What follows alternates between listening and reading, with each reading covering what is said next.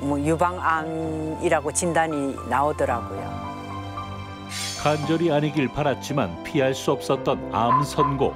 그날의 기억은 가족 모두에게 큰 충격이었습니다. 그때는 정말로 막막하고 암이라는 그 말 한마디에 가족들은 모두 절망 그 자체였죠.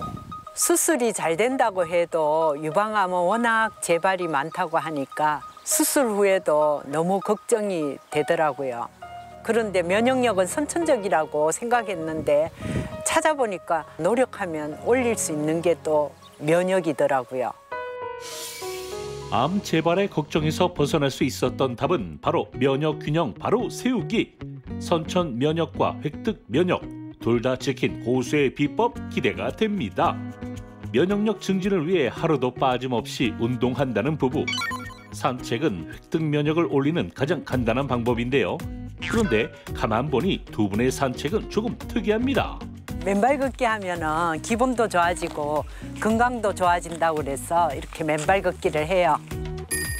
맨발로 걸으면 발바닥에 분포한 지압점이 반복적으로 자극되는데요. 음, 이때 몸에 쌓인 노폐물이 배출돼 면역력이 강화되는 효과가 있답니다. 산책을 마친 부부 바로 들어가지 않고 익숙하게 무언가를 집어드는데요. 아하, 덤벨 운동을 하시려나 봅니다. 유산소 운동을 했으니까 이제 근력 운동으로 마무리를 지어야 이제 오늘의 운동 양이 다 끝나는 거예요. 팔을 뒤로 해 덤벨을 머리 위로 천천히 올렸다가 내리는 상체 덤벨 동작. 총 5회씩 4세트를 반복해 주는데요. 건강을 지키기 위하는 운동인 만큼 너무 무리하지는 않는다고요. 그런데 건강 고수님 무겁진 않으세요?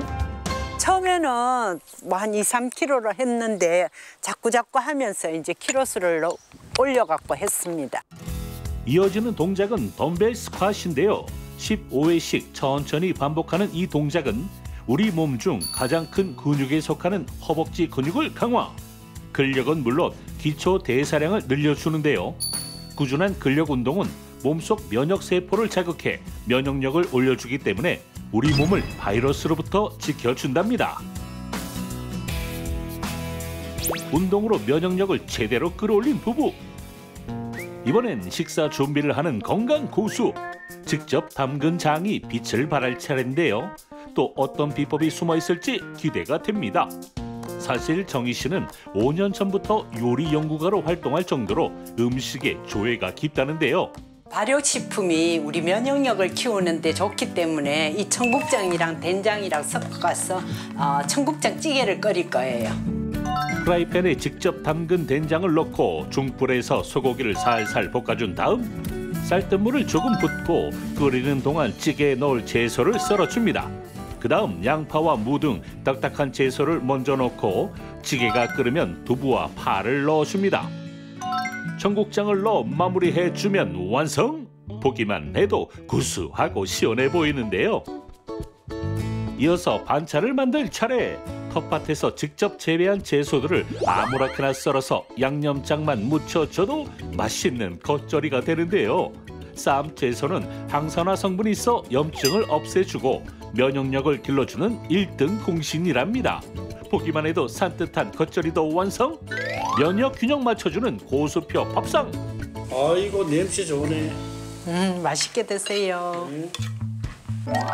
밥상 관리가 곧 면역 관리라는 부부. 자연에서 얻은 재료에 요리 고수의 손맛까지 더해지니 더할 나위 없어 보입니다. 건강도 애정도 up 되는 시간.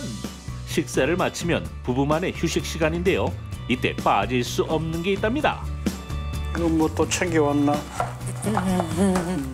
선천 면역과 획득 면역 두 가지 균형을 잘 맞추는 것이 가장 중요하다는 고수.